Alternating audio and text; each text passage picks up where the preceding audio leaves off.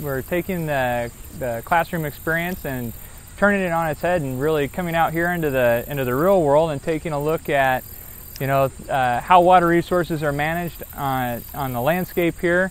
Um, getting a real hands-on feel for what's going on uh, allowing students to touch and see things. like immediately I knew that this was going to be completely different than what I've learned and it's a once in a life opportunity here we have a lot more hands-on uh, honestly I wish all classes were like this because they're so much more engaging and like we have such a good group. We just work well together. Class of 20, we're out on a sailboat learning. Oh, it's so much better than being in a classroom, being outside.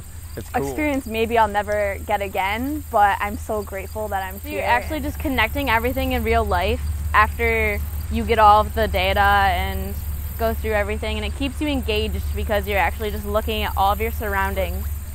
I've learned completely new material. Like the mixture of lecturing and then going outside and applying what we just learned and seeing with our own eyes and being able to touch like the water and stuff like it just helps you process it a lot better I think. You don't get to do that in regular college courses. Just apply because it's fun. Experience Clarkson University's River U this June and earn six college credits.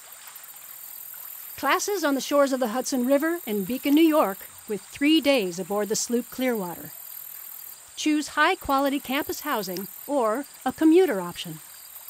Apply today at riveru.org. Six credits in three weeks, that's awesome.